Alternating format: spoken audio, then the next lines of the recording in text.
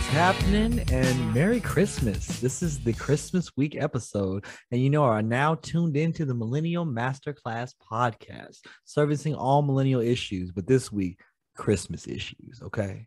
Special Mhm. Christmas issue. I don't even think we have any Christmas issues. Do we have any Christmas issues this week? I I have one. My Christmas issue is that. Well, don't tell them yet. Don't tell them yet. Shit, we got to get there. Don't don't don't don't give it all away. They're not gonna Well, buy the cow. They how- can You get know it how for shit free. be on the tip of your They're not gonna do that. to get that out. We 'Cause should introduce ourselves though. My name is Tris. I'm Oh, yeah. posted up in New York. You know, they sometimes they call me the prettiest one. I want to close out the year right. Who let calls everybody you know. that? A lot of people do. Look, don't worry about all of that. We're liar. concerned. Anyway, we're going. You know what? Fuck it. We ain't going down to Texas. We're going over to Maryland, and we're gonna see what's going on there. What's going on in Maryland?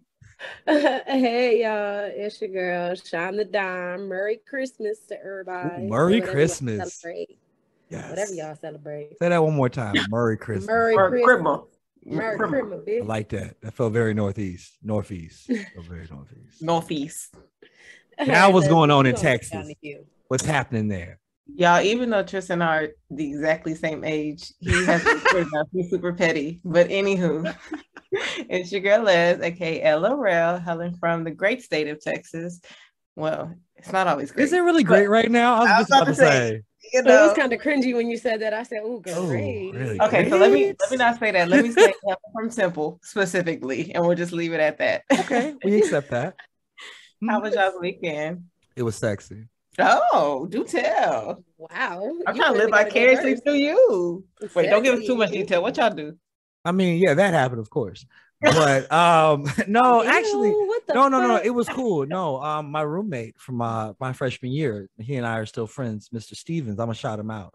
Justin Stevens. He came through to New York. What's quite what's fucked up is that it's not like he lives far away right now. He lives in Connecticut, so he's like an hour away. But they were there for this weekend. He and his lady came by, and we got to hang out with them, and it was oh, nice. Like a cute double date. Yeah, no, no, no it was good. We went and got drinks, went to a comedy show, had a nice little time. You know, Mhm. COVID is has changed everything, even the comedy shows. Like there weren't so many folks at this comedy show. It was interesting though. It was a good little set, but it was I, it was a little skit. It was a little, was a little, little thin. The audience was. a razzle dazzle. Mhm. I heard uh, Omarion coming and shutting down New York. As far I'm as, not like, tired of this shit. Y'all gonna use the right name. Y'all gonna use the right name.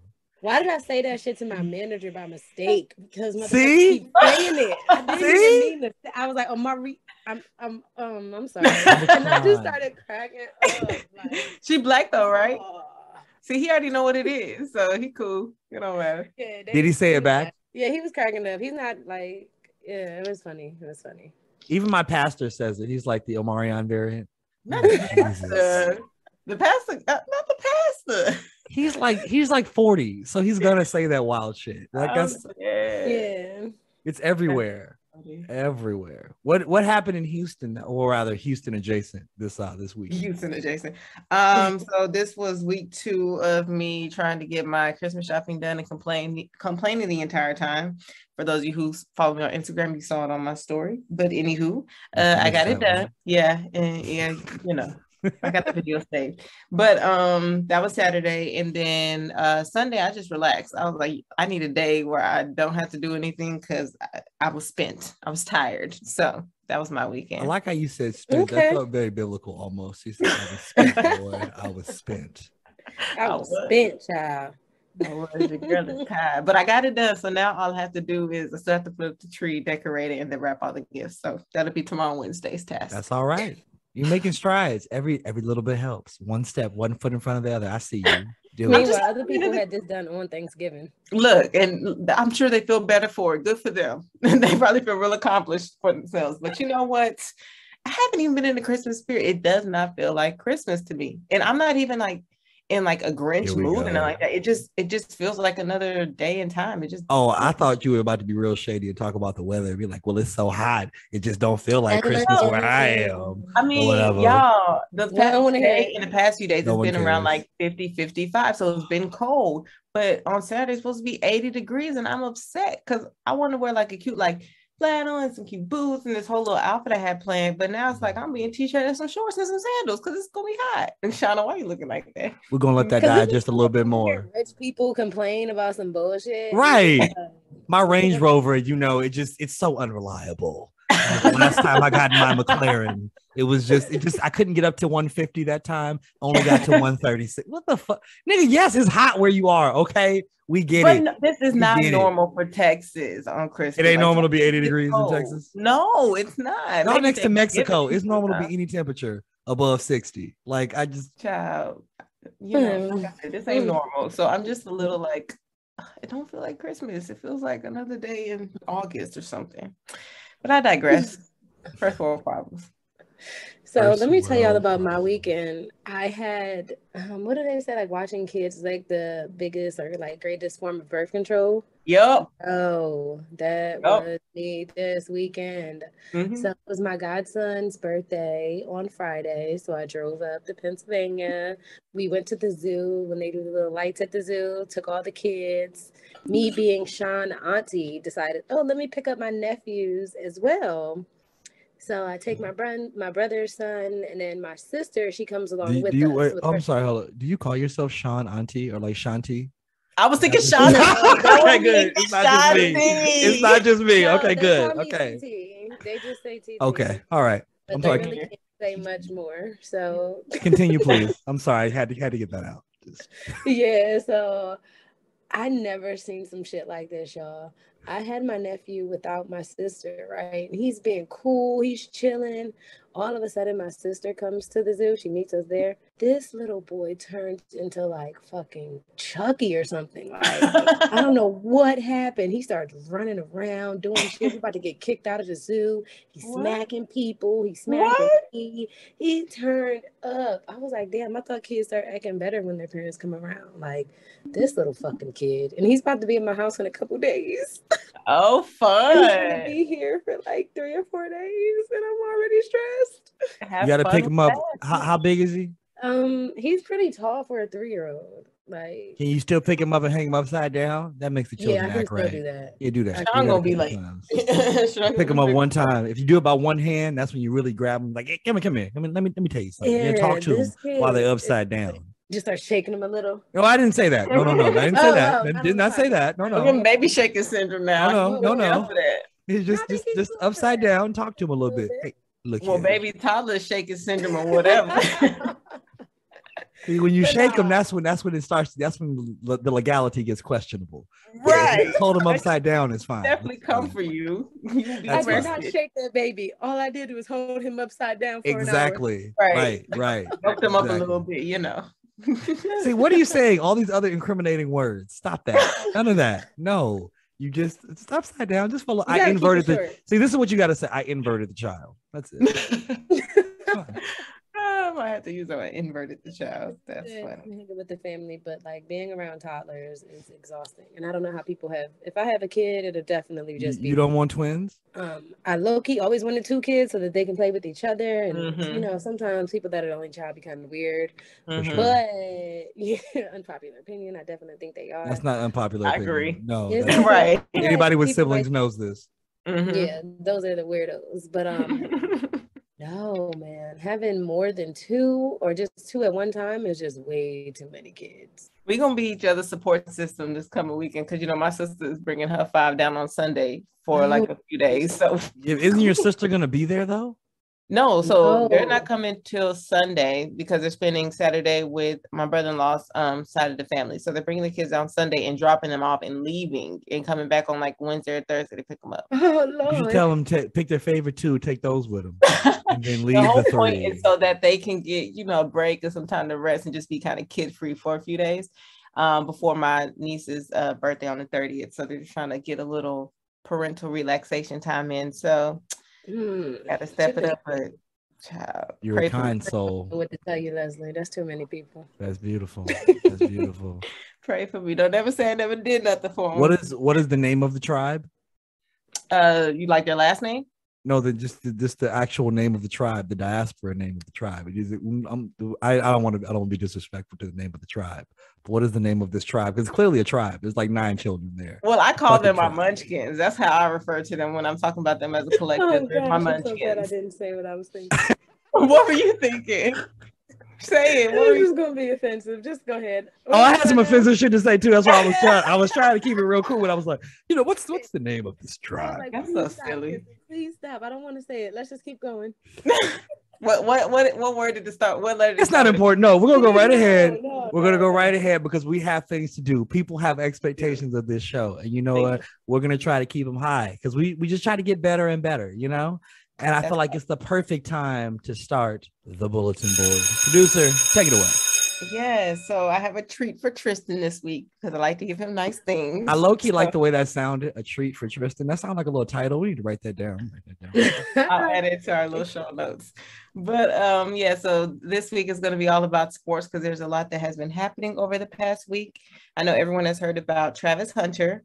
Uh, Sean, listen up this for you in case you haven't heard about it. So yeah, no idea who that is. I got you. I'm about to tell you. So Travis Hunter is a five-star cornerback and the nation's number one overall prospect. Um, so he's in high school currently, and he's gonna be going to college next year. So boom. Follow me? Okay. Gotcha. So um, he actually last week decommitted from Florida State, whom he had been been committed to for the past two years since he was a sophomore. And in a very like theatrical way, like I watched the video, he like threw the hat and then put on like um Jackson State's hat, which is where Deion Sander coaches. So he went from Oh. a D1 PWI to going to an HBCU, which is huge, you know, and we're in this whole movement where we're trying to, you know, bring more notoriety to HBCUs, especially when it comes to sports. We're trying to get more um, high school level, you know, prospects to go to HBCUs just so we can really build up those programs. So for him to do this is huge. Um, so yeah, just a couple fun facts. He's six foot one, 165 pounds out of Georgia. Um, and he's been described as a generational talent. So this is big. Like for him to really start this trend when it comes to like, you know, football players moving on to HBCUs. Hopefully we'll see more of this happening. Hopefully HBCUs will be able to receive more funding so that their um, facilities and programs are up to par and can handle, you know, these top level athletes so we can get them to the next level, which of course is the NFL. But yeah, Tristan, how were you feeling when you heard about this? I was just like, Coach Prime is the cheat code. That's just all it is. Coach Prime is the cheat code. Like, let's be real. Let's like, let's name like we're gonna call a spade a spade. Let's name the top HBCUs, right? I'm, I'm gonna name them all for you. Tell me if I'm wrong. We In this Howard, order, right? We got Howard. of course. We got spe- low key Spelman should probably be above it, but I ain't gonna give Uh, it that uh, uh, uh, we ain't not gonna do worried that. about I mean, let's This be honest. list. You know, sometimes it be going back. and But they have less people, so I feel like it's different. But whatever. Mhm. So you got you got Howard, you got Mhm. Spelman, you Mhm. got Morehouse, you got Mhm. Hampton, you Mm. got Tuskegee, you got Mhm. FAMU, you And got- Cat? What? in Cat, North Carolina. A&T. Yeah, for sure. Them. Yeah, you got. uh Did I say Fisk? No, you didn't. No, but yeah. Yeah, Fisk, and then maybe Jackson State, and Mhm. then some people gonna be upset I left out Virginia State, but that's okay. So and of now, course, you go further down south, you got the Gremlins and right, but what I'm talking about in terms of like notoriety, eyes on the school. Like I feel like of those, those are probably the one that get the most attention. Okay, ain't nobody else got Deion Sanders. It was not coming nowhere else but with Deion Sanders. You're telling me you're a Yeah. cornerback, and now the greatest cornerback could possibly teach me. I gotta go there, and then that's all the PR he's gonna get. Like I just felt like this is the perfect storm. Like this would not have worked if you didn't have Deion Sanders. So low key, we would need like some major like NFL player to go to each one of those schools and give them some clout. But they weren't gonna get any clout without Deion. So Coach Prime is is doing it. He's making good on these promises. Now, low key, if he can get a couple more defenders, like they're gonna be nice, nice. And Yeah. then like they'll eat up everybody in the conference because the conference is weak anyway. So then like they might go undefeated. Who knows? I mean, I'm just saying, I feel like this is a really great opportunity. And I feel like it could it this could be this really could be game changing. So I, I wish agree. them all the luck for sure. So I do have a question. What are like the I guess consequences of decommitting from a school? There are none. Oh, you can just say you're going one place and be like, "Psych, nah." Well, because at that point you may have burned some bridges with like some coaching staffs and things that there. So you're talking about in terms of like networking, maybe yes, but like in this situation, I don't really think there will be too many consequences. It's just Mhm. a matter of like you have theatricality, but people decommit and commit all the time. So it just may be a situation where like maybe now you can't start or something, or I guess all kind of little different things, but each situation is different. So that's what happened on All American. Uh huh. With Spencer. I was like, yep. yes, that happened with Spencer. He committed to one school in like Ohio or something, and then he was like, mm-hmm. like, nah, I don't want to go there no more because the same coach wasn't going to be there. Mm-hmm. And then the mm-hmm. coach threatened him like, you're not going to be able to play, and you're not going to like he's gonna basically ruin his reputation as a player. Yeah, yeah. they will do that. They used to do that a lot when you would decommit from a school. I mean, like in the social media age, it's a lot different because you can control your own narrative. But like back in the day, if you would have decommit from a school, all you had was the coach's word. So they could have been like, "Oh, he's a bum, he's lazy, whatever," and that wasn't the case. It may have just been something that was internal that was going on. The player didn't want to be around, you know. So these days, it's not as big of a uh, as um impactful as it would have been like you know maybe 20 years ago. So. Mm, okay. I also think um, the fact that the players are not a- able to make money off their likeness played a big role in this because he can make money while you know playing at um, Jackson State. So it's not like he was solely dependent on like what he does at the school, if that makes sense. Because I know the conversation has been like, could he be making a mistake um, because of how huge Florida State's program is, and that right. would like give him the trajectory to like really you know, send him straight to the NFL versus he may have to do a little more, work a little harder at Jackson State because it's not as huge or as um, or doesn't have the type of like I said um, football program that Florida State has. But I think the fact that he is able to kind of do his own thing as far as like his likeness making money because then he I think he's going to come in making two mil or something like that. I heard I need to double check that. But I think that played a big role in him deciding to make this leap to HBCU, which I think can influence other um, you know, athletes, black athletes to make that jump to the HBCU. I mean, the money's definitely that definitely talks, and I'm sure like that was definitely part of it. But honestly, I don't the the biggest deal will be the schedule that he plays. Because like where he go to where he to go to Alabama or something like that, like in the SEC, the schedule will be tougher. So then you would be able to shine because now you get like all your games are televised. So mm with mm-hmm. but with prime though they're going to be a few more televised games so he'll get the notoriety. As long as his numbers are decent and he's doing the right things he'll get to the next level. It'll happen. Like he'll probably leave school probably somewhere after the sophomore year and and be the man somewhere. So you know shout out to him man. Appreciate you bro. Shout out to travis and deion. Deion been making some moves over there. He's coach prime baby. Coach prime. You know how that conversation went. It's coach prime baby. What's going on? You coming down to jackson state? I know you are. right. Right. I got you, baby. Brittany probably you. called them back and was like, hey, you want me to come back? God, I hope that didn't happen. Jesus. Okay. All right, so back to more sports stuff. Uh, Steph Curry, I know you probably saw that whoop, game. Whoop. I did watch the game, and you know what? I'm pissed because we could have gone to the game, and I just didn't think the shit through. Because you know, oh, we, I don't live but 15 minutes from the garden by train. Shut up. Dang, that would have been dope if you was in the building when that happened. It would have been it would have been simple to do because I could have just bought them like a couple weeks earlier because the tickets would have been cheap. But then when yeah. people knew that Steph Curry was starting to break the record, I looked that night to see what tickets were available. Like they had tickets like in the 200 section, right? So that's up, right? Oh. That were like $600 a piece. Oh, oh because they knew he was going to break it that night. Because Steph Curry's father was, I mean, you know, you know. So you were saying you would have had to buy it weeks in advance before they realized that that was going to be the game that he exactly, exactly. tickets shot up, and I saw it too, and I was like, yeah, whatever. You know, it, it, it, not a big of a deal. It was a big deal. Shame on myself. It was the deal. Really so, for, for those of you who may not be aware of what I'm talking about, how um, could you not be aware? Listen, I have to inform the, the people want facts. So I'm just going to give them the facts so they know what's up. So Steph Curry um, actually overtook Ray Allen's record um, in the top spot for the all-time made three-pointers. So he's the best shooter right now in the NBA game, and probably will be for a long time because he's not even nowhere near done with his career, as far as we can see. You know, God forbid. Didn't yeah. So I know who uh, Ray Allen is. Okay, that's, that's Jesus Shuttlesworth. yes, yes. Ray Allen is Jesus Shuttlesworth. Absolutely. Shout out to Spike Lee. Shout out to Brooklyn. Yeah. That is actually that's a Coney Island story right there. That's what that is. I I know all of that. I just know seen the movie. That is funny. so he um broke the record over the course of 789 games, which is actually 511 games fewer than Allen because he did his in about 1300 games. So already he's done it in a short amount of time than Ray. Um, he said that basically right now, since he surpassed past that. Now it's just, you know, how far can he push himself, you know, because it's him competing against himself at this point. So I have a couple quotes that I thought were interesting. His coach, Steve Kerr, um, admitted that he feels Curry's uh, story transcends sports, pointing out the point guard changed the way the game is played, not to mention the way that young players think about the game.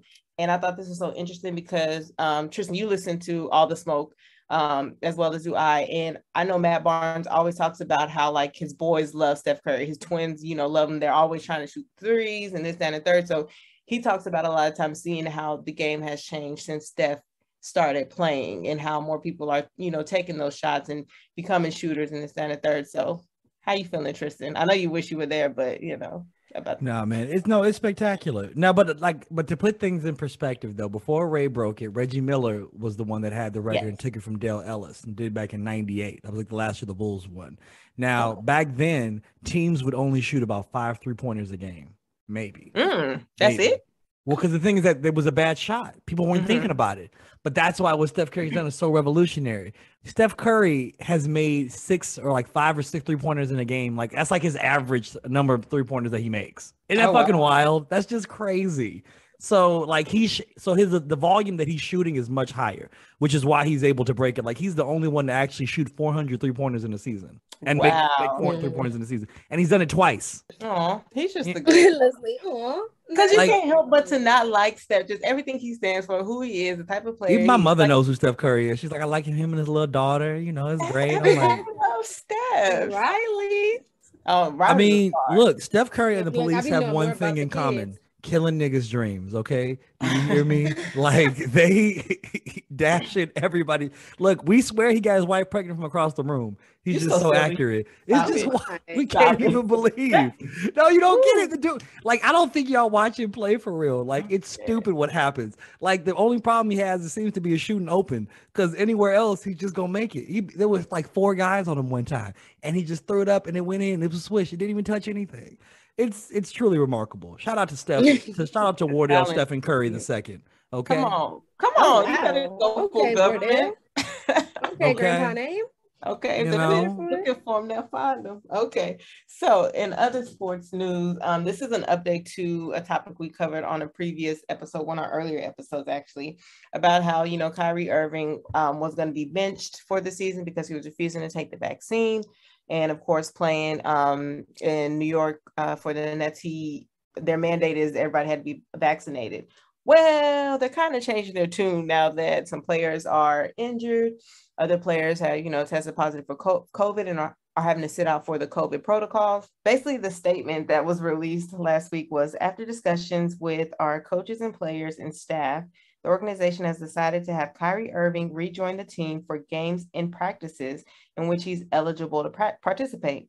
Uh, the team said via that the athletic shams. Uh, we arrived at this decision with the full support of our players and after careful consideration of our current circumstances, including players missing games due to injuries and health safety protocols. We believe that the addition of Kyrie will not only make us a better team, but allow us to more optimally balance the physical demand on the entire roster. We look forward to Kyrie's return to the lineup as well as getting our entire roster back on the court. Your thoughts? I told you he was going to play. I told you he was going to play. Um, all I heard from that is other people are fucked up. He's the best person that we got, so we need him to play in the cities that he can play. You're right. Despite that's, what that's what, that, that's what status is. Yeah, pretty much. Okay, yeah. That's yeah. what I got from that. All yeah. I'm telling you is that I knew he was gonna play. I'm like, he's too good to not play. And there's always something that goes on. Basketball's a long season. You were gonna need him if you thought that you were gonna do anything this season. You were gonna need him. It was gonna. It was. It was too important. So thank you, Mister Mister Irving. We appreciate you. Now the Nets are number one right now in the East. So mm-hmm. to to maintain that and to maintain dominant to maintain dominance, you for sure need him going forward because the Bulls are on their heels. Shout out to my Chicago Bulls, but mm-hmm. no, he was always going to play. Yeah, and honestly, they'll probably try to find some workaround for New York as well because the only because the issue with him playing now is like okay, he gets his reps back in, he gets good, but now okay, we're in the playoffs. Now we have the number one seed. He can't mm-hmm. play in Game Seven. Right, right, right. when we need you the worst, we can't even we can't even play you. So with, they got to figure that the, out.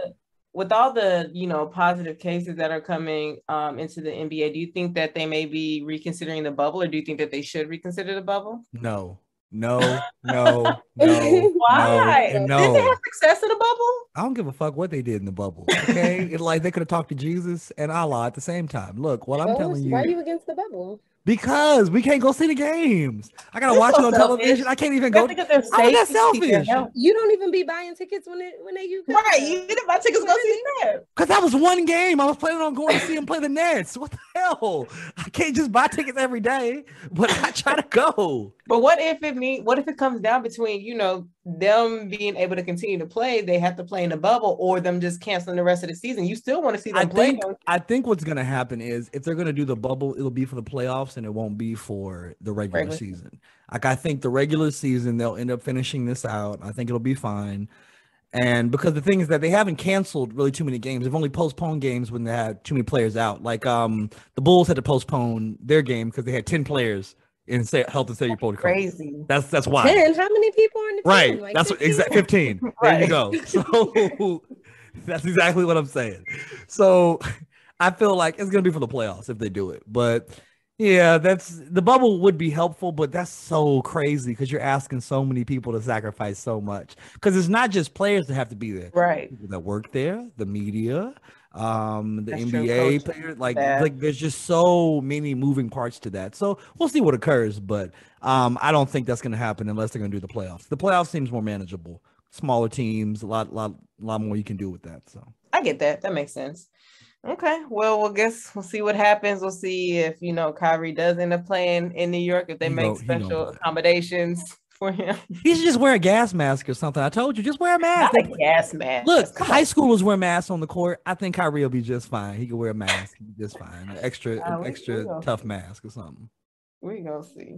All right. Uh y'all know I had to throw some mess in there, even you know, with it being a sports focus a bulletin for today. But is nothing uh about bouncing the ball. Mhm. you know, I gotta keep it balanced, you know. I know y'all been hearing about the met the new mess that Tristan Thompson he's always in some mess. Like, I don't understand. Tristan third trimester Thompson. Okay. Third trimester Thompson. Goddamn. That's what he was trying to Low key, this time I don't actually know that this is him. Like I don't actually know This that is this is him. What you mean? No, no, no. I don't know that he is actually the father. Is what I'm saying of this child. Watch him be. Like Watch him. now, because because the things that the dates aren't checking up. I mean, let let the people know what's going on. Let, let them know what's up. so basically tristan is in the media again for cheating once again on khloe um supposedly the date that this- happened was uh march 31st which was his actual birthday in which khloe posted on instagram you know birthday you know post and saying that they had actually gotten back together on that day so he couldn't even wait until the next like anyway That was his but- birthday gift to himself. Clearly, Oh, She wasn't there. She wasn't there. What is wrong with him? Like he just wanted somebody with less bought parts. That's all I'm saying. I get that. bot part? Tickle me when you say part. Look, That's the kind. That's the kindest way I can say it. Anywho, so basically, there's a young woman by the name of Maralee Nichols who actually just gave birth on December 1st, who is claiming that Tristan is the father of her newborn child. So she filed a paternity case actually in Texas because she was in Houston at the time, but ended up moving to LA. Um, the case in Houston got dismissed just because she moved to LA, gave birth in LA. They're both in LA, so it'll pick up in LA essentially. But basically, she's saying she doesn't want, you know, any type of child support. She's not looking for. Well, she is looking for child support, but she was just saying she wanted it to be known that you know he was the father of her child, but she doesn't really like all this media attention she's getting or anything like that. Can, you go back to Um, what you just said? She wants it to be known that he's the father of the child, but I don't like this media. Get the fuck out of here. This is how I know that this is this is this is what he might actually prevail on. Her words. Um, oh, and I said March 31st is actually March 13th. So I'm sorry about that. That was his birthday. So anyway, he basically admitted that yes, they did hook up, but that's all it ever was. Um, and they had that understanding. There was no like actual dates or anything romantic happening. It was just straight like on Snapchat, like, hey yo, I'm in the city. What's up? type of thing where we linking that type of stuff. What does that matter? What does that have to do with sex? Well, she's don't trying to to make it sound on a like it's a relationship, right? Like they have It like some type of what it is. relationship correspondence, right? So this is so this is what her account is. She says he says there were only Snapchats of where and what time we would hook up and what hotels would be used. She said that Tristan told me he was not having a sexual relationship with anyone else. It was not casual sex, nor did we have an arrangement. We communicated daily and talked on the phone, and we would see each other several times a month. And he says there was no texting or talking on the phone, it was just straight Snapchat. So there's, of course, conflict of what actually happened. So who knows about that? But he was telling her that she needs to take the 75,000 that he's offering because he plans on retiring after this year and he doesn't plan on working. So she won't be able to like squeeze anything out of him child support wise because he won't be making a steady income anymore.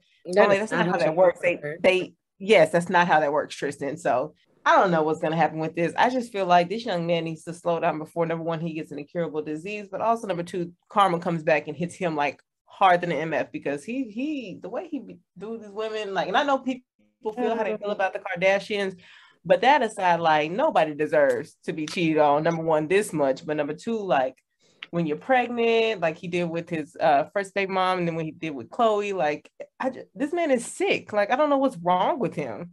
On your birthday, your baby mama slash girlfriend giving you birthday shout outs, and you're up here fucking this other girl. And you know what I do hate when men try to like play the woman like, oh, we were just fucking just fucking is what leads to babies. That's why we're here. So I don't understand. Like, it didn't need to be dates. It doesn't need to be us spending quality time together. That's not the point. Right. They act like feelings you, how you have a baby. I have feelings. Yeah. What? I never pregnant. even liked no. her. what? You did, but you fucked her, and you clearly fucked her raw. Like, if your thing was, I never had sex with her raw, or I never had sex with her. Period. That's a better argument. But your only argument is that you didn't take her on dates. You know how many hoes got babies that ain't never on a date?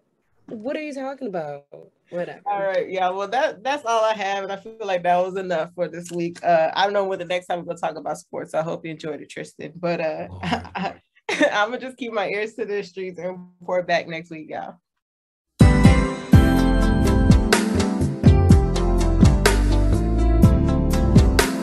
And you know what time it is. It is time for the lesson plan. Today we have a treat for you.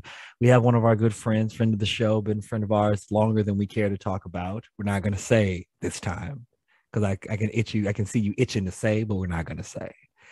But I uh, know this man is a tremendous gentleman right here. I first met him at the tender age of 18, and we're the age we are now. And uh, he is a culinary wizard. I have laid witness to it with my own eyes and seen the process. And today, hopefully, he'll give us a little insight into that. So please uh, welcome Mr. Kenny Harris to the show, chef extraordinaire. What's up? Thanks for having me. Of course, happy to have you. And we're just gonna jump right into it. Yeah, so, man, thanks for being here. Appreciate yeah, it. Yeah, for sure. Um, we know you're busy during this time too, so no, we definitely appreciate it. But um, tell us when did you decide to become a chef?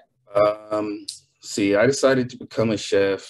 Uh, what 2016? I was 26, and um, I had been working. I actually had a really good job. I was working at um, Amazon at doing corporate recruiting. So I was like flying to like uh, Seattle and to Denver and uh, to their different headquarters um, to recruit like general managers, office managers, stuff like that for the Austin headquarters. And I just was sick of working. I've worked in like probably, I don't know, every job, any job you could think of. I've had like a thousand jobs uh, and all of them were unfulfilling. So in 2016, I was just like, uh, I never worked in the kitchen before. I'd served tables before, but I never worked in the kitchen. So I just decided to work in the kitchen. And I worked at a Alamo Drafthouse in uh it's like a burger bar. I, y'all know what Alamo Drafthouse is, right? I know what you're talking about, yeah. Yeah, yeah. It's a movie theater um, that sells food primarily like pizzas and burgers and stuff. Um, so that was my first kitchen gig, and um, it was up from there. Hold up, okay. real quick. Is what's in that cup? What's in that cup, man? It's a little early. What's in that cup? I ain't drinking, boy. Um, it's an emergency. I ain't drinking. Uh huh. It is not emergency tequila. That's what that is. No, it's That's literally emergency. uh, okay, but no, it's emergency, sir. I'm not drinking. I'm tired. Continue on, please. Um, okay, so you mentioned um, how you transitioned from Amazon, and so what was it about the culinary arts that just made you go like, hmm, I want to become a chef? Did you like grow up loving to cook, or what was it about that field that you wanted to jump into it? Yeah, you Can know, I, I just say before you start, I remember there was a time you wanted to go to medical school.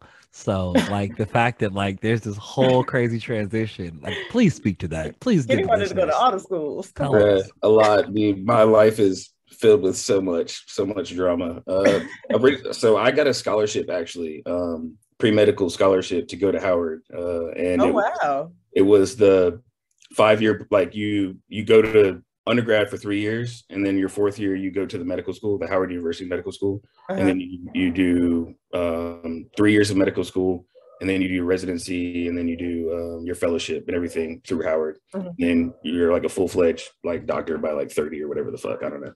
Um, but uh, again, like there's like so much, you know, I'm not like I like to think that I'm just naturally smart. I don't like to study. Uh, I don't like doing homework. I don't like I don't like doing things that are required to be a doctor, basically. Like lots of reading.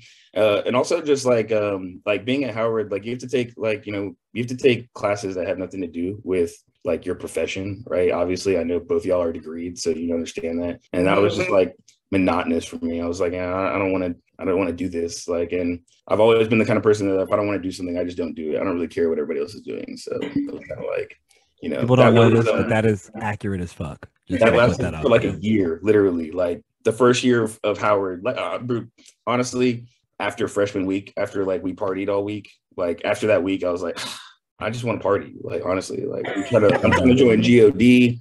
I'm trying to fucking, I'm trying to get, I'm serious. You know, I'm like, I'm, I'm trying to be oh. cool with like the Kappas. I want to pledge Kappa. I want to do this. I'm gonna do that. Like, do all, like all these like social things. Like none of it was academically related. Can you get out of my head? Literally, no, those are the same thoughts. yeah, like you know, I was like, I'm like, I'm here to party, dude. Like, like I'm from Texas. I, home's like thousands of miles away. I'm like, man, like I'm like, bump me on it, dude. Like my, my parents can't tell me nothing now, dude. So you know, here we are. All right. So was it difficult for you to make that transition from, you know, your corporate job with Amazon to culinary art school? Um, it wasn't difficult. I don't really I don't really look at transitions as difficult. Um, some require more than others. Uh, this one required a lot. There was a lot involved in the transition to decide to just pick up culinary arts. One, to answer your question from earlier, I've been cooking my whole life. Um, like my mom is a really, really good home cook. Like you know, makes good, great meals my whole life. You know, well balanced meals. Like she was always good at being creative. You know, and and there was always dinner. We always sat down as a family and ate.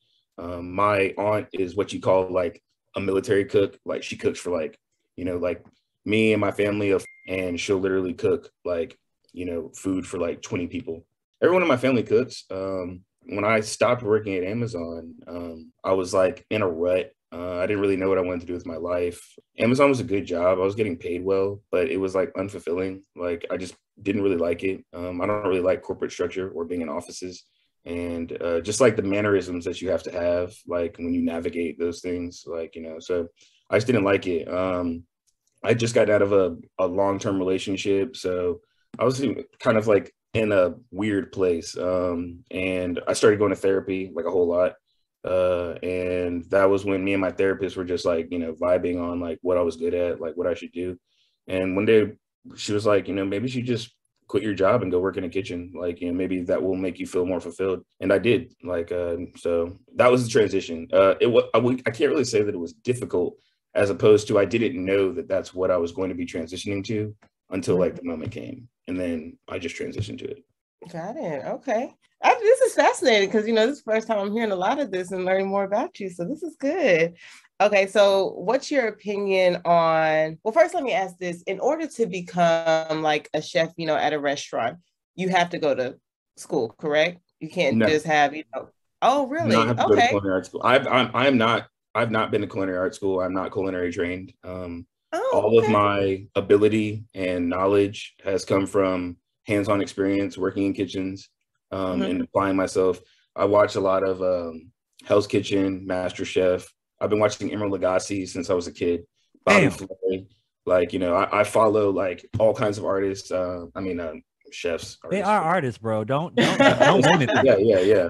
So like you know, I've been watching the Food Network. I, I habitually watch the Food Network. Like I'm talking like you know, holiday cooking champ- Christmas championships, shit like that. Like you know. Um, uh the great british baking show on netflix is like one of my like all-time faves so like really like i'm like a uh, a visual learner so um I see something done, executed properly in front of me, and I'm literally like, all right, move over.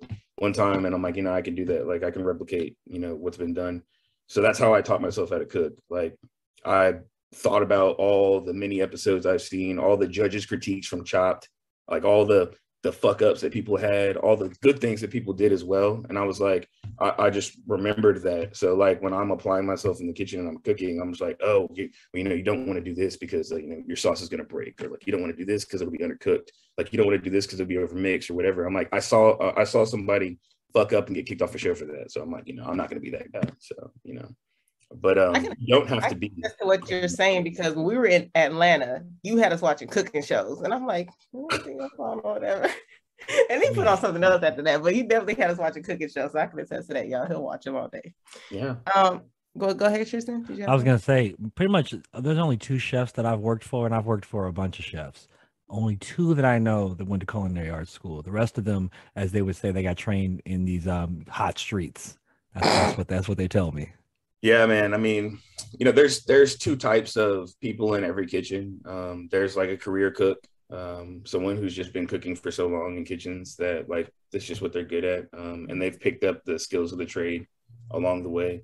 And then there's people who go to culinary art school, and that's kind of like people who go to culinary art school. There, there's like a both sides view the other side differently. Culinary art okay. school come out of school like pompous. They're like, I'm like I'm accomplished, like I'm degreed, like I can run any kitchen, like I'm ready, like like true. like I got the, like it's crazy, it's crazy. Like it doesn't matter how old you are, just like when you're new as a chef, chef, like one of the hardest things to do is to take conceptualization and actually make it the actual right? Like everything always looks so great in your head. Like everything always runs so perfectly in your head. You're always like, oh, dude, I could run this kitchen better than my chef can. I can, you know, like I'm out of culinary school. I I, I know the five mother sauces. Like I know all these things that like, don't know, and like that somehow makes me like more qualified for the higher positions in a kitchen. And it's crazy because like you know many other avenues. Uh, I think most careers, honestly, it's like uh, working in a kitchen is a hustle game. Like, you know, you either got the hustle, like you can either cook, you can either throw down, or you fucking can't. And going to culinary, going to culinary art school isn't gonna like help you be better at that. Like, you don't learn how to cook in culinary art school. You learn the processes of cooking. You learn cooking techniques.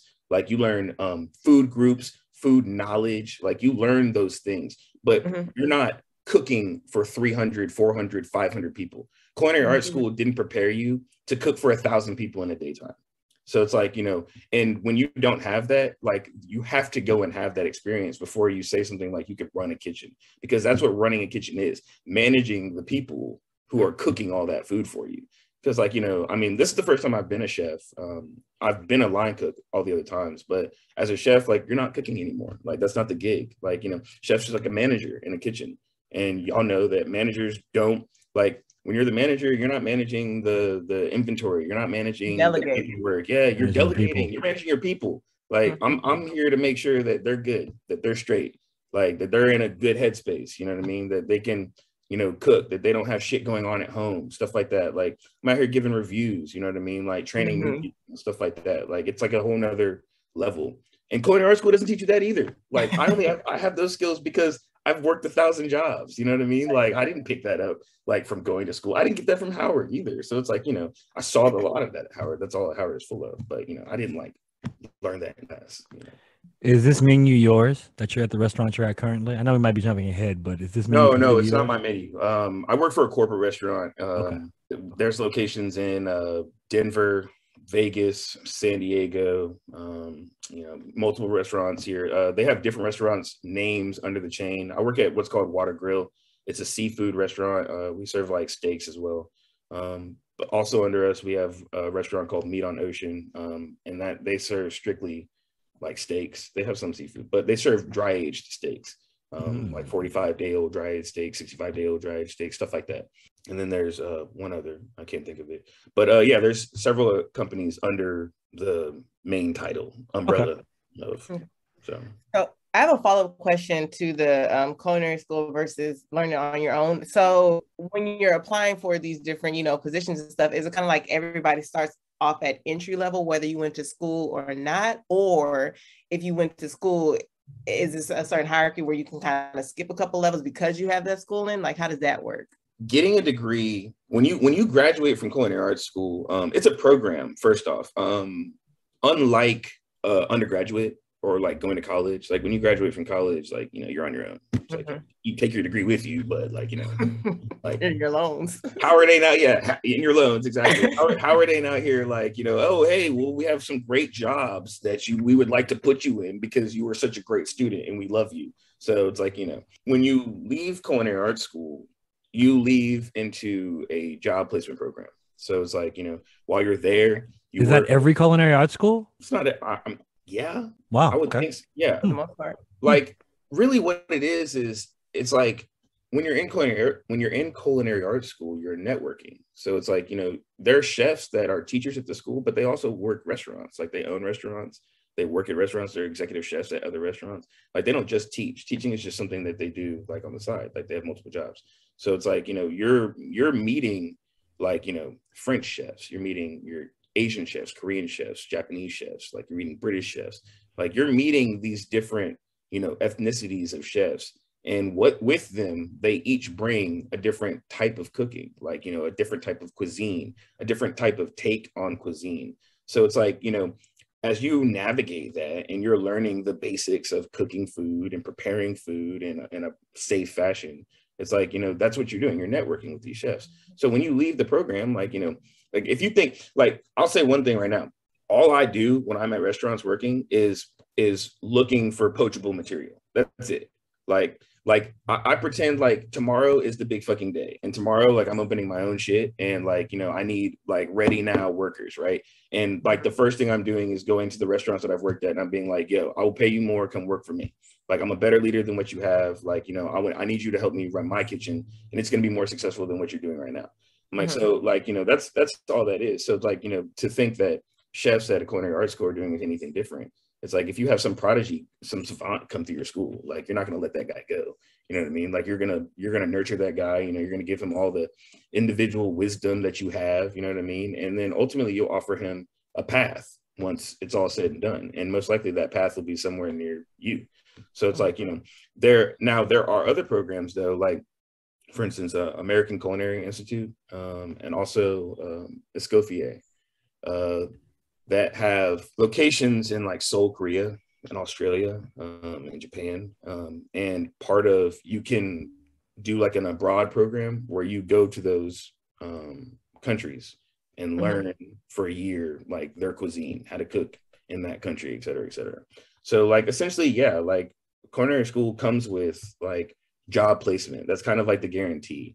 Uh, on top of that, if you don't want to use job placement, like to answer your question from earlier, you can roll in any kitchen with a culinary degree and they're going to make you a chef. Like, you know, the only question is, is like, is that kitchen going to respect you? Like, you know, Mhm. like, So wait a minute, they're gonna automatically make you a chef, not a sous chef. A sous chef. Yeah, yeah, yeah. Oh, sous chef. So you're not gonna be able to run a kitchen. You'll just If an executive chef position is open, hey, like, look, I don't want you to get it twisted. Most of like, I have, I have never worked for an executive chef that I deemed like, I like teach me. Like I've never, I don't have that experience. Like all the executive chefs, like I have levels of knowledge that are beyond them, and I'm like, Mm. um, you, you went to culinary art school. Um, you've been doing this since you were like 17. Like, you know, you're older than me a little bit, my age, whatever it is. Um, and like we're just we're just not the same. Like, like I picked this passion up and I'm just like damn good at it. And like, you know, you've been like honing your knife for like years and it's taken you this long to like be this far. So I'm like, you know, I've, I've like I would love to work for a chef who I was like, you know, like jaw dropped every time. they and did all, yeah. yeah, like you know, like like back in the day when I would watch like Gordon Ramsay and shit, like D Shell a Crab or some shit, I would literally be sitting, I would be sitting there and I would be like, wow, wow, wow. He's going, wow, he really did that. Wow. And like a minute, dude, stop it. I'm like, that's crazy. I'm like, yo, like he's actually doing some shit that like I'm like, I don't know if I could do that. You know what I mean? And it's like that would be a pleasure to work for somebody like that. But most of the chefs aren't like that.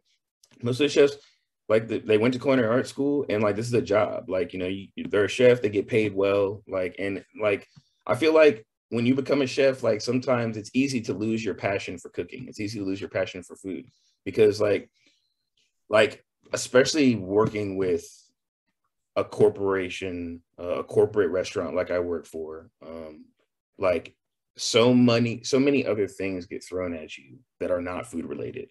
It, it gets easy to like lose your passion for it.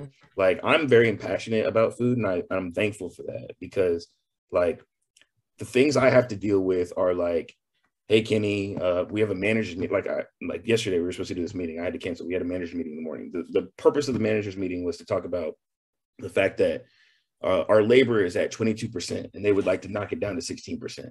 That was the point of the meeting. So like I, I had to wake up after closing the restaurant Monday night and come go to work again and talk to them about like cutting people off the schedule.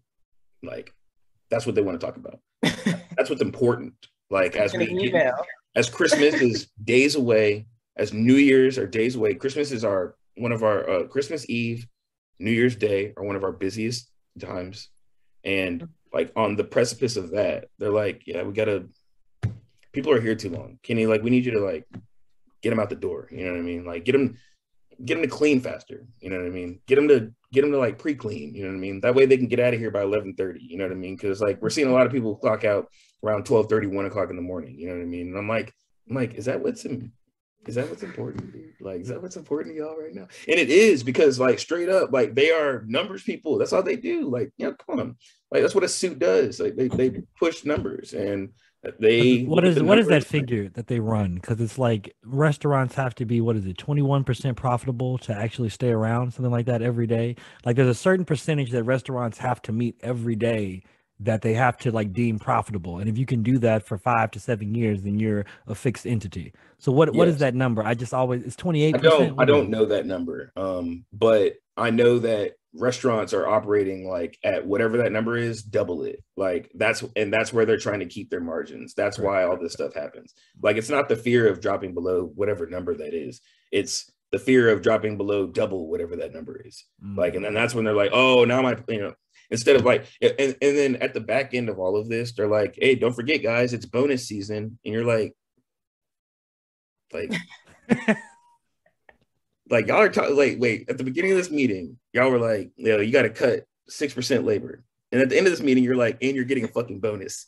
I'm like oh man. I'm like that's wild bro. I've never been a part of like management like that. I'm like so it's mm-hmm. wild to like to, to hear that. And they're over here like my bonus is like you know a few thousand dollars right? Like their bonus is like fucking what tens 1000s mm-hmm. hundreds of thousands of dollars maybe? I don't know. Like a huge bonus but like all of that like we got to cut the grunts like you know what i mean? And like we got to the ones that work really really hard like we got to like you know we got to push them grind them into the dirt. And the ones that don't want to work hard like you know just get them off the clock and get them out of here. So it's like you know. Mm.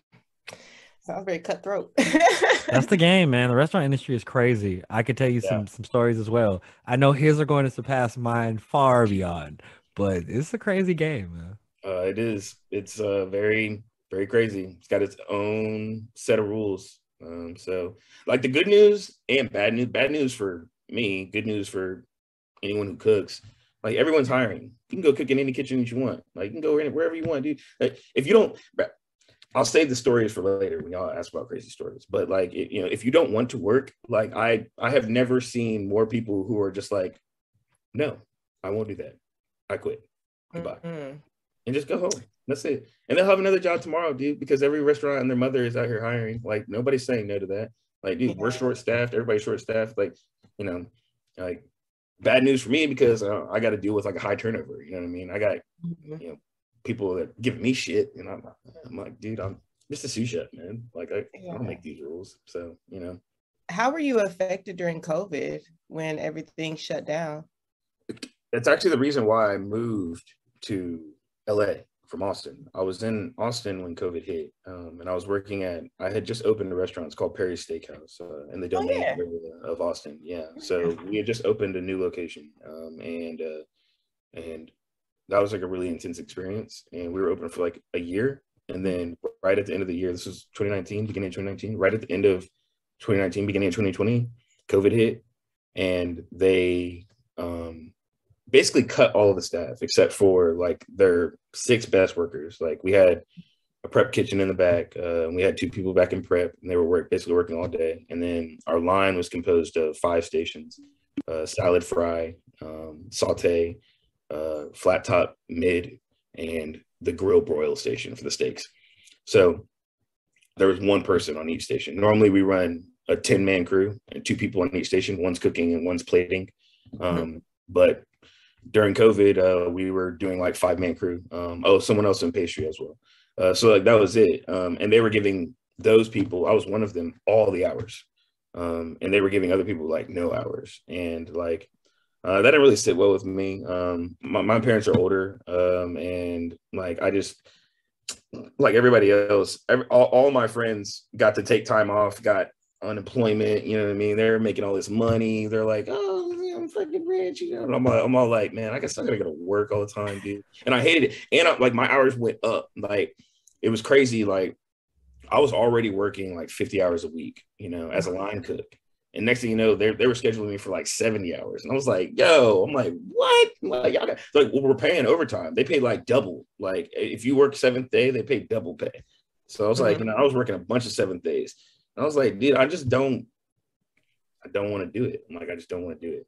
Um, and so like, I just uh, basically like there was a way for like you don't quit but you just don't come to work because of covid and then they put you like on an unemployment list and then next thing you know you collect unemployment.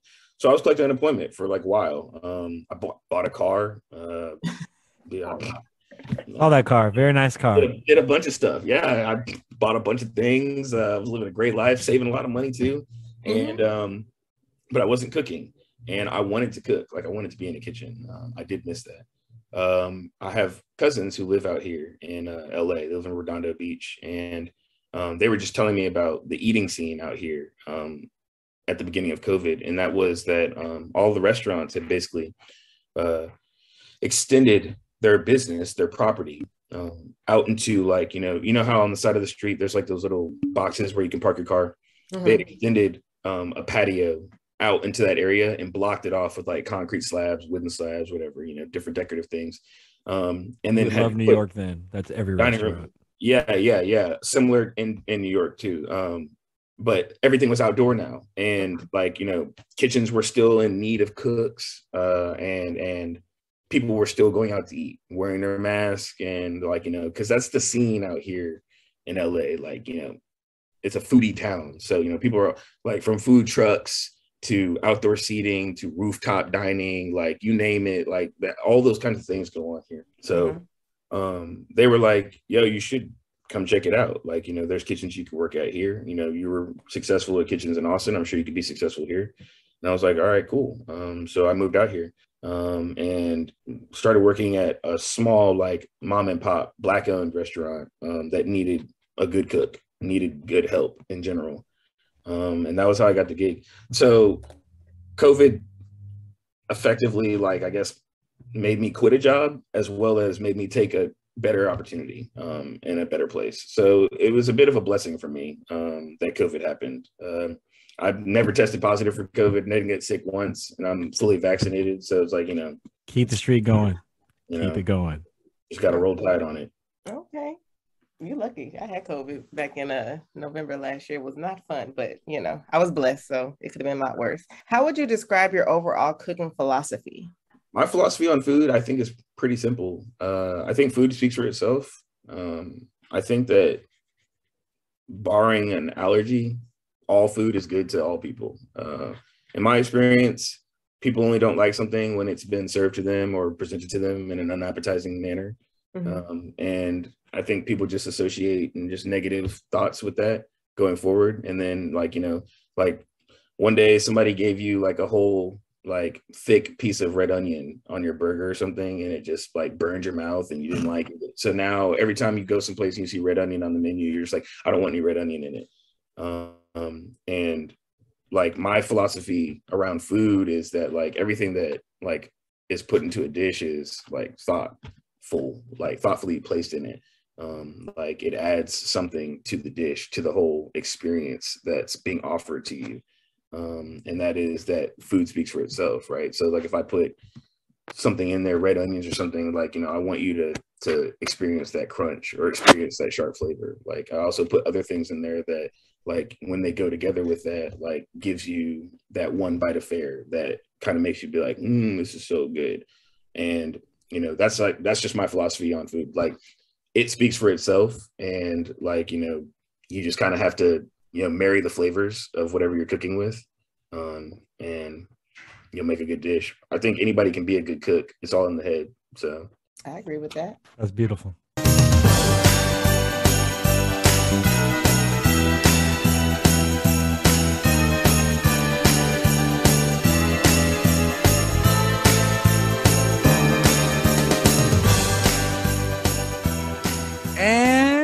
We're back. And you know what time it is? It's time to stretch those legs. It's time to get loud. It's time to get crunk. That's right, crunk. Because we millennials. Yeah, that's why I said that shit. It's time for reset. I cannot. I was about to like do the snap your fingers. Hey. And you Hey. can Do it all by yourself. Let me see you do it. Hey. That video was so hot. I just remember everything about that time period. Oh, what? I played Tipsy earlier. It felt real good when I played Nina Oh, you Pop. that? Y'all know that's one of my I- I karaoke songs. song. Oh, Here comes the Oh two- yeah, I was thinking you do that. That's real. Hey. We're Okay. digressing. Focus. Right, Focus. right. Focus. All right, speaking of music, have you guys heard the new Alicia Keys? Yes, Of I course. have. So how are we feeling? I've only heard a couple of songs, but I loved what I heard so far. She's in the lie. pocket. This is this is as good as Element of Freedom to me, personally. Okay. Okay. Remember that was the one with um Unthinkable and everything on it. I feel Mhm, like this is as good as Element of Freedom. I don't think it's quite as good as like that second album. I feel like that's the pinnacle of Alicia Keys. That second agree album is that. my favorite Yeah. one. But I would say that this one is as good as um Element of Freedom because I felt that I, 'cause Okay. I felt like the one with um Fire We Make was just a step under Element of Freedom. Mm-hmm, mm-hmm. So The this one's right above that then. Is that what you're saying? Yes, yes, yes. Okay. Okay. I think that's a fair assessment because her second album was definitely my favorite of all of hers. So I could see how this album falls right under it. I was saying this album takes me back to that Alicia, you know, who she was back then. I feel like her last few albums were okay. Is she wearing they didn't makeup give me- again? Huh? She wearing makeup again? Go ahead, uh, uh, Leslie. He's talking It's about is fine. she wearing makeup again. Oh, oh, no, no, no. Well, I don't know. I haven't paid attention, but um, you so silly now. I get it. Sorry, slow moment. But anyway, um, I do agree. I feel like she was in her bag, especially like with the uh, first the concept, the fact that she has is almost a double CD to where she has like the originals and then she has the unlocked version where she put more of a beat to it, working with Mike Will Made It. Um, but also with her content, like it took me back to that Alicia, but at the same time, you can hear her growth in like her lyrics and you can just feel how in love she is, you know, with Swizzy and the, the content that she's talking about. Um, but yeah, I definitely have my favorites that I have been playing on repeat. And I'm like, okay, Alicia, give me all the feels. So, I, I love it. I love it. I was hoping there was gonna be a song with? Maxwell on the CD, but there wasn't. That was probably my only gripe with the CD. I wanted a song with Maxwell because like they did Fire You We know they Make, gave and I us was like. Yeah, been there, hey, but this time to come back with it. He just got honored as Soul Train. I was like, oh, this is it. It's time to get Mhm. Maxwell. This is the It didn't time. happen. It, it I've didn't. been I've been But listening. There's a Lucky all- Day tune though. That's fire. Yes, Lucky fire. Khalid, which Khalid's album is no skips. Love it. Still listen to it. Yeah, I don't know Y'all all hating, y'all hating, y'all hating, y'all hating. But Oh, anyway, no skips. what I was- what I was- much. there are no skips on that album, and Twitter and Instagram agrees because I've seen posts that keep saying They agree about a lot of dumb shit. That don't mean that it's right. What are you saying? So There's people put a don't agree on Twitter that talk I'll about blood poll sausage. is tomorrow, y'all, just to see how y'all feeling about Khalid album. But if you know quality music, then you'll agree that this album is no skips. But like I was Uh, should we listen to it again? no, what I'm saying was that I've been listening to all her interviews. So I listened to her on the Breakfast Club and also listened to her, her Drink Champs interview. And I just love how like she's really like opening up even more. I feel like we're learning more stories about her, especially when she like, you know, uh how her relationship with Prince and just like other people she's worked with. Her talking about um Lil Mama, that shit cracking Oh, yeah. up, man. She's like, what? I didn't even see her. She was in her zone. I wish they would let that go though. Like I know it was a moment in time, but y'all gotta let little Mama they live. have beef. No, remember when little Mama walked on stage when her and Jay were performing um Empire State of Mind and like Ooh, It's been what 20 has it been almost 20 years? I feel like It can't And be it- 20 years. That song did not 20 come out in 2001. Shut up. Maybe Oh 10 my years. God. maybe like Maybe 15 10. years. Alicia came out 20 years ago. What? Yeah, she came out in 2001. You know what I'm saying though? It's been a long time, and I just feel like people won't let Lil Mama live or forget that. Like, oh my god, Well, she hasn't done much more relevant things for us to talk about. So She did the uh, well. She did the um. She She did the. Can We Talk challenge. That was decent. That don't even count. That was literally two days ago, and it was just an Instagram challenge. Shut up, Tristan. It was decent. I enjoyed it. It was good. She time. asked. She's been in her little acting bag, and you know she. Yo, remember little mama used to wear the hat, the fitted hats with the holes at the top to put her weave ponytail through on Mhm. um America's Best Dance Crew. We gonna let her be great. We just gonna let her be great. Clearly, you a little mama stand. What's that? Your cousin? Girl, not at all. Not at all. I mean, Oh, it's the what- better version of Avril Lavigne's song "Little Mama Be Your Girlfriend." Mm, mm, mm, Yeah, that mm, is the vibe. girlfriend. I like that But one. continuing on with music, how'd you guys feel about the Weeknd and Aaliyah? Let me tell you right now, that is my new Mhm. favorite song. Okay, I've Is had that I- shit on repeat all like week. Whenever it dropped, I've been listening to it. Like the day, like that mid, because I didn't know it was dropping. I just happened to see it at midnight or whatever, and I was like, let me play this. Let me see what bullshit the Weeknd has put together. And then I was like, oh, this is magical. Oh my god, this is fantastic. like I have been rocking this tune. And you know what's crazy? Why is it that like the biggest Drake, like the biggest Aaliyah fan in the world, Drake can't make a good Aaliyah song, but everybody else can? He has never given us one good He's- Aaliyah sample. But he Yikes. self-proclaimed the biggest Aaliyah fan, first of all. So that don't even count. Just because you proclaim that you are, don't mean that you are and know what to do with it. But Ooh. um, wow, okay, keep it real. Keep it I'm real. just saying. Um, the song was cute. I don't know. Wow, I you say cute. I know what that means. that means that it was like, eh. That's how I feel about any listening to any of the Weeknd songs. Like, eh. Right, but this one was decent because like he was in his bag because with Aaliyah's voice and because he has like a sweet man voice and then she has like a little. man. He does. He sounds like a little girl Yeah. sometimes. That's why I don't really fuck with him like songs, or that. Is this actually different from all the other songs? These are Well- not the views of the entire Millennium Mock, my, whatever our name No, is. these are the fucking views. He sounds like a little girl. He knows what he sounds like. He knows that he sounds like we left the house. Anyway, look, offended, sweet men out there. But- But, uh, I didn't say that he has a boyfriend. What I said was that the man has a sweet ass voice. The shit is it's it's it's soft. It's like a harp. Like a It's like a male harp. Like if he were to play a harp, it would be the Weeknd's voice. You know the Weeknd's voice. You know it. I'm done. That finger movement just made me uncomfortable. Me too. I was like, But it was accurate, wasn't it? And that's what I'm saying. I don't know. So the Weeknd's voice is like that. That's just what it is. So no, and then Yeah. Aaliyah's voice, the pairing, it was a very good pairing. It was literally as good as Chris Brown. Don't think they know. It was as good as that. So I same level. always just feel weird when it comes to well, how's it pronounced? Posthumous music that they put out. I don't I always feel weird about it because I'm like, would the artist want this music to be out? It's one thing if it was like, I guess like Pop Smoke's album, he was already working on the album, is near done, so they kind of finished it. But the second one they put out was like a lot, a lot of features. So I had a feeling they just kind of scrapped that together. Versus if an artist maybe had like recorded some of these songs previously, recorded these vocals previously, wasn't really feeling them and just didn't want them to be released, but then you know, years later after their death, they want to scrape them together, so they decide to use them. I just always feel kind of weird when it comes to those types of songs and albums when they're I really released. feel like they're trying to use this person's death and fame for money. Like it, it just seems very. now that uh, they finally released her music on the streaming services. That's why I seems feel like, it's okay because her music's on the streaming service, so clearly the correct, hopefully correct people are getting paid. And with this one, it wasn't like he just took her voice and tried to throw it in there here and there.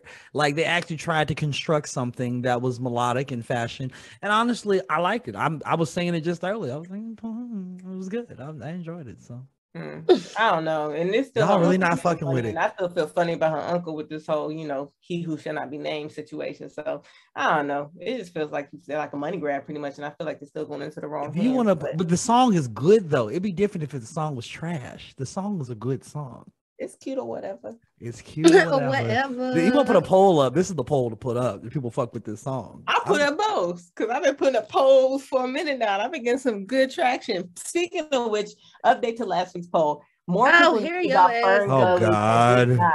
Not. So just letting you know that is a millennium. Because you asked because you asked 10 people or whatever you asked. Look, nobody's know that fucking movie. I asked a bunch of people myself straight up, and they was like, I ain't Where's your poll results? I got the results to prove it. I posted them. Got receipts. Wow. Okay, that's fine. If you ain't posted it, it didn't happen.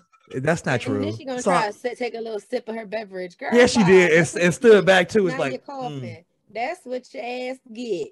the drink don't lie. The drink don't lie. The drink don't lie. Now into new TV shows that have been on everyone's TV screens for the past couple of weeks. First, Mhm. I want to start off with Harlem. Now- Love. It's where I reside. Love Love. it. I, Love I it. was I wasn't thrilled about it.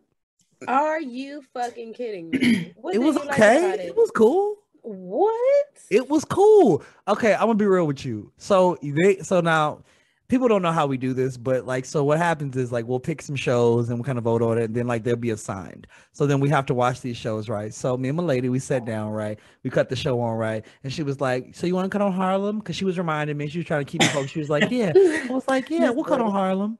And that's a voice, I don't what to tell you. And so we cut it on.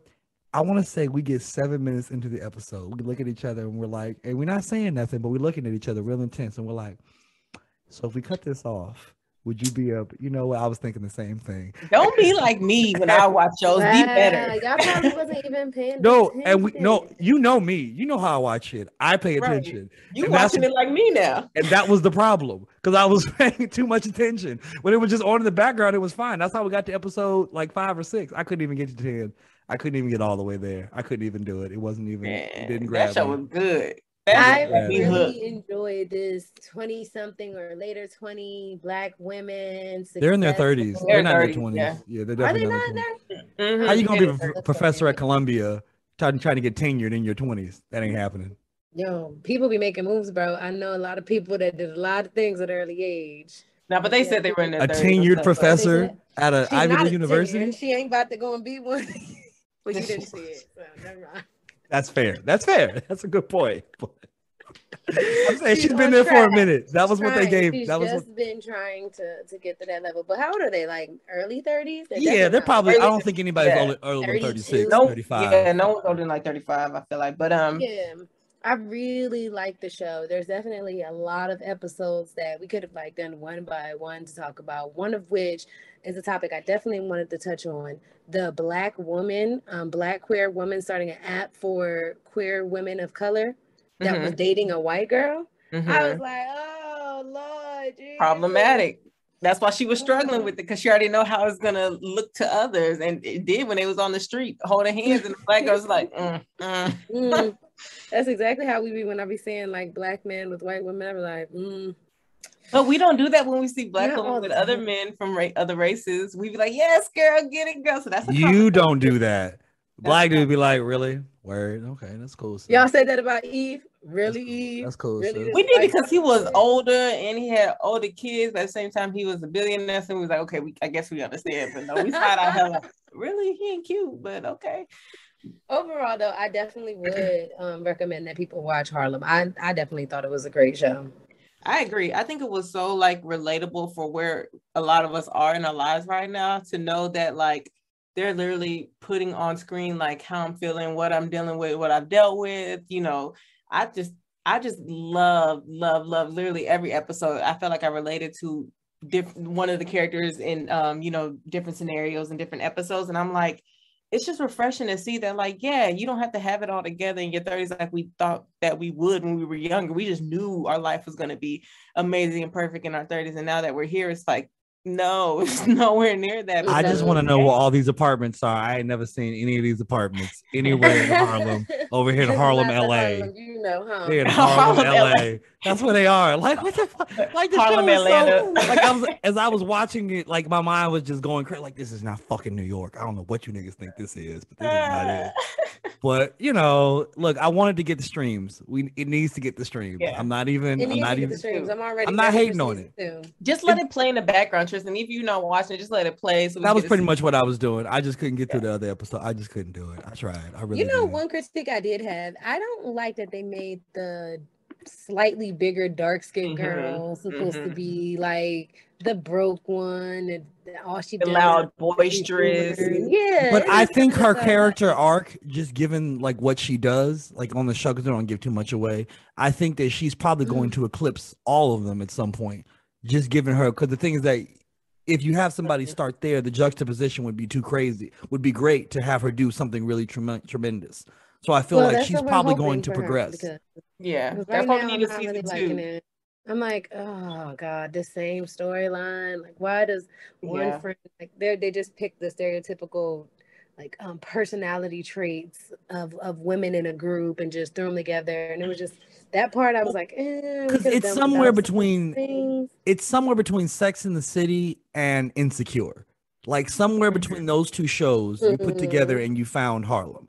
And then like it just got a little cheesy for me at some points. Like the jokes didn't quite land all the time. Like um the girl who's um the lesbian on there, she's quite funny. I like her timing. She gets it. Yeah. She's moving. But like the relationship between like the this the girl who's a singer and the girl who's um the um the, the rich lady's daughter or whatever. Uh-huh. Like their timing is a little awkward. It just felt a little hokey to me.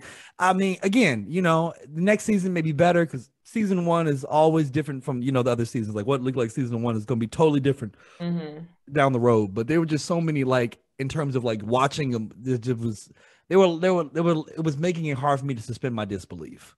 That's all I I'm got gonna say. Yeah, Can I just say sure. funny, the funniest scene was a yoga scene. What I tell you, Which I, episode is that? Which episode is that? I don't know, it's like four, fifth, or fourth or fifth, I think, somewhere I, in I, the I think I know what you're talking about. so funny. And No. then Oh, go ahead, go ahead. and then get out the musical. When I tell you the content when they were actually performing in the songs, I said, "Now I'm who like, I know they did not do this on time match. What the, what is going on? No, I just liked it when she had that interview when, that, when she had that guy come in and give her that offer. He's like 750,000, 750 big ones. She said, oh, okay, you must think I'm a fucking idiot.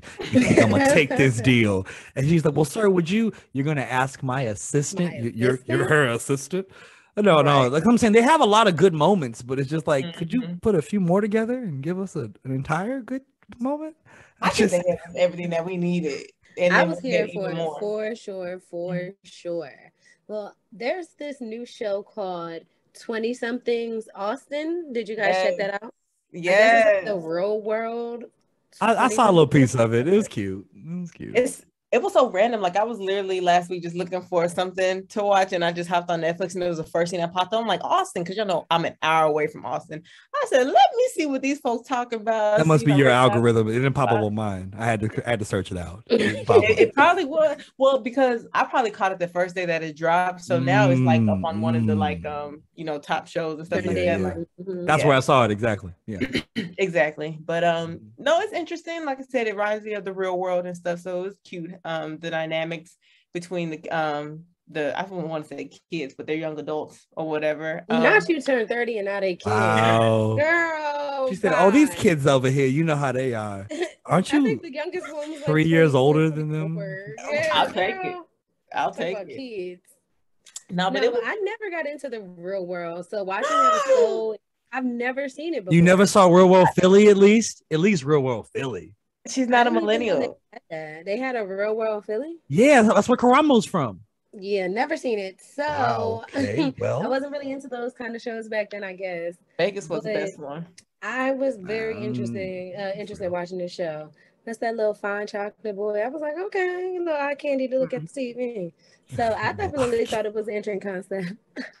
How you feel about Abby and her white woman tears? Child, Abby was a mess.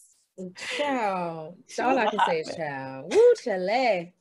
Maybe, Ooh, Chile. Oh, I do damn. to seek validation from men, and I hurt my friends because and I'm sorry. Like I don't, I don't know why I do No, that. but I'm that was their serious stuff because that is exactly what she did. That's exactly Your what she was told doing. you that you like that she liked somebody, you didn't like them, and now all of a sudden you're flirting with him. And I know bitches like that, so it would be happening. It's very fucking strange. But to play Like, to play devil's advocate on that one, I think I honestly kind of felt like that was so silly because yeah, Natalie liked him, but at the same time, he never was like, "Oh, I like you too," or we flirting, or we talking, we kissing, we'll do. It's just a little crush that she had, but she because Natalie was so pressed to have attention as well. She had been wanting to Right. find somebody in Austin, so it's like you can't just be like, "Hey, girl, I think he's cute. I'm gonna try to get him."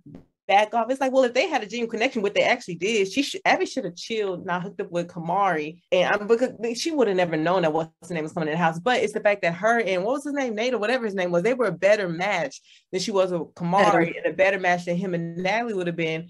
But I didn't like that with the whole Natalie because I'm like Natalie, you were just pressed for attention as well, and you just wanted a guy to talk to. No, so you can't you I can't see like that. to someone who but, don't like you. But Natalie asked her ass straight up, is does she like is she gonna be trying to talk to him? Do she like him? Whatever. She's like, no. But sometimes you don't know. Sometimes Abby you said- Abby know. said That's But. Abby I said she was like, never- I don't know, don't ask me that. Like she said in the kitchen when she asked her that, she's like, I don't know, that, that's Because weird. she knew Don't the answer was yeah from the beginning. She should have just said that shit. Well, no, because I mean, sometimes you're not sure. Yeah, because no one knew him. He literally just got there that do day. Coming up there looking like what's that little white man on the horse, Fabio or some shit. He came used out looking all cute.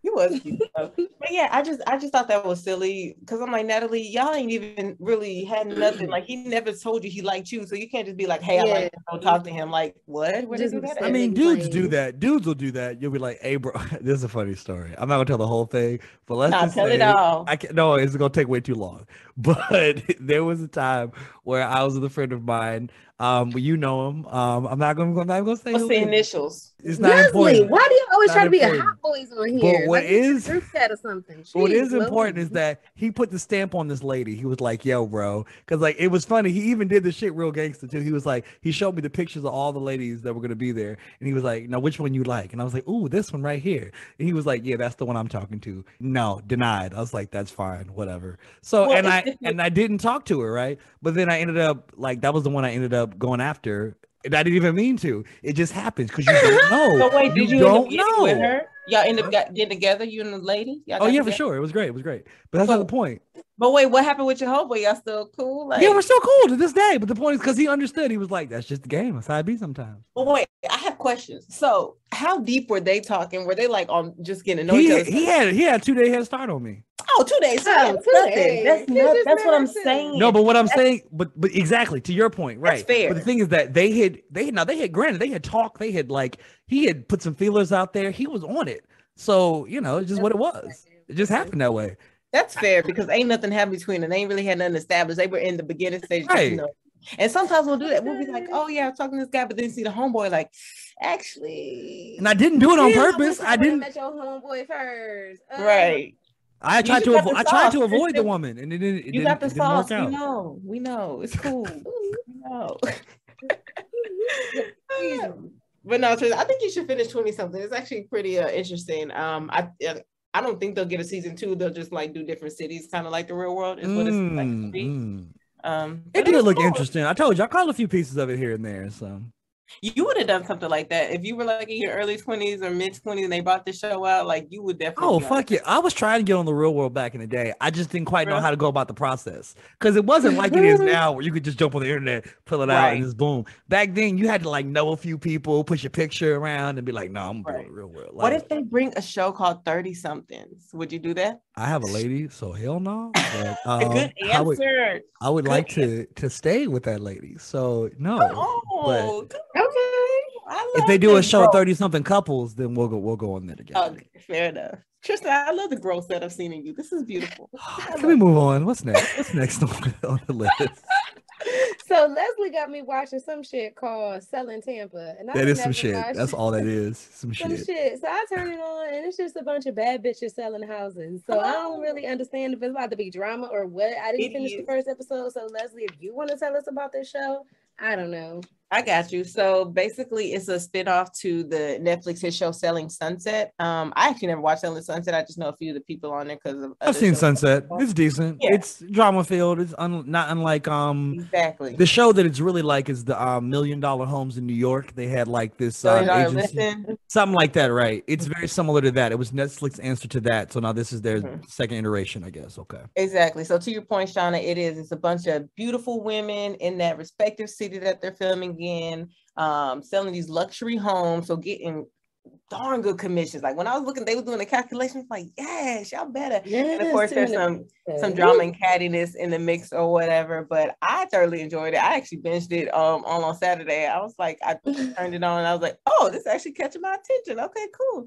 Um, but I I enjoyed it. I thoroughly enjoyed it. So I think you'll get into it, Sean. I'm gonna try. I didn't finish the first episode yet, but I'm definitely gonna get into it.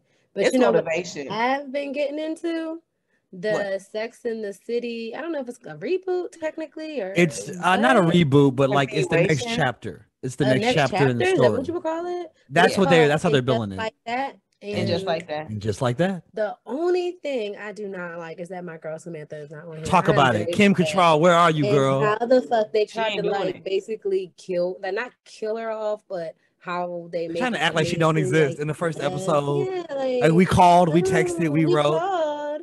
Don't try to make her look like the bad person. Nigga, Don't show up. Go there. Grab her. Bring her. Like, don't want no uh-uh, part. I don't fuck with that. But I absolutely have been in love with this series so far. It's only like three episodes in, but it has been really good. Have, have you seen the party scene? Damn, them old white pi- bitches do not age well. Oh No, they my don't. Like God. milk. Yeah, they like in their fifties in real life, and they Damn, moving Miranda looks like she's like 64. Like, oh Well, oh, actually- Jesus. Okay, having seen her in person and standing like like four feet away, and actually you know, like right next to this woman, she Like looks that. really good in person.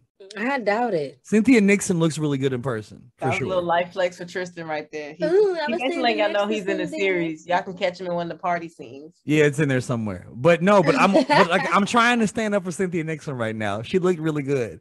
I can stand up. I can't stand up for nobody else, but I can stand up for Cynthia. She looked really good when I saw. Well. Sarah Jessica Parker hair looks like youthful. Oh, it for sure did. She had five people Her around her at all time doing Why it. very- that so- hair looks youthful? What is that? Everything else looks very, very old, but But you know, old I, now. I love Sex in the City, so I knew I was probably going to love this as well. But you definitely see that they've aged 20 years or more. But I definitely, I'm enjoying the show. And Tristan, uh, there's somebody that was up in there on the set. How are you feeling about the show? I am the same as you. I'm about three episodes in. I was watching it with my lady. She's not really a Sex in the City fan, so I feel like some of it's a little lost on her just because you know, like you don't have the same connection with the characters. Like you know, like Mhm. she wasn't outraged. Like I was like, no, Kim Cattrall. She was like, I don't, I don't know who that is. I'm like, that's real. Get that. Like, Sure, sure. Why not? We could have did without. But Mm. no, but like no, it's pretty good so far. I like the character they brought in, Karen Pittman. I'm really happy that they brought Karen Pittman in. Um, she's the one with the braids, black lady. The, the Oh, I'm like, I don't know who that is. Yeah, like, no. yes, the one She's a really nice lady. Yeah. A shout out to Karen Pittman for sure. Um, no, but they I like where they're taking the story. Nicole Ari Parker's in there. So like I feel like there's a there's some complexities that are going around, and I feel like it's very topical. Um, especially like there's a there's a, a scene where she's talking to Karen Pittman there at lunch and she's talking about her son and like how you know he kind of called her out her name and it's a very touching little conversation i feel like it's definitely applicable to people older so it's not necessarily for our age bracket but the story is very good so i'm, Yeah, I'm my a fan mom of it watching it. but i'm not gonna lie. But i'm not gonna lie to you. It is a little cheesy at first. So you Mhm. got to get through some of the cheese. And just like that, I was like, okay, Sarah. low key that's that's that's where it starts that's exactly where it starts uh-huh, uh-huh. It, it sounds so forced, but I, I was here for it. I cannot lie to you. But that is all that I have in TV shows for this week, you guys. All right, that was that was. i a felt lot, that but breezed by stuff. just like wasn't that quick for didn't that, did that feel quick for y'all that felt quick No, it wasn't quick. It was. okay whatever we took our time Trying to but look exerted all my energy. it needed to be done. It needed things needed to be said. We had things to say. Mm-hmm. But I guess that does it for the show, guys. Wow. Already? Yeah, man. It's a whole thing. You know? And uh we want to again thank our special guest that came by today.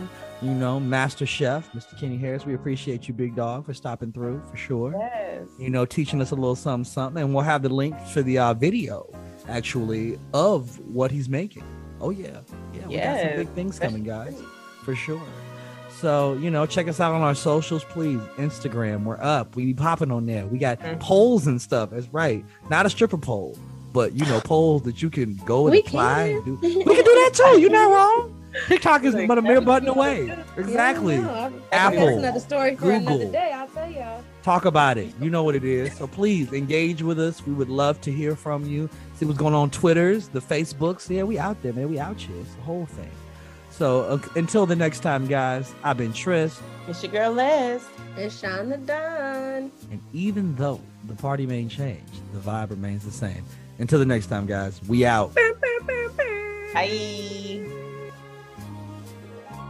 Hey, family. Thanks so much for tuning in to this week's episode of the Millennial Masterclass Podcast with the one, the only Kung Fu Kenny, Kenny Harris. We'll be back next week with part two, so please don't miss out. And from all of us here at the Millennial Masterclass Podcast, have a happy holidays. Until next week, guys.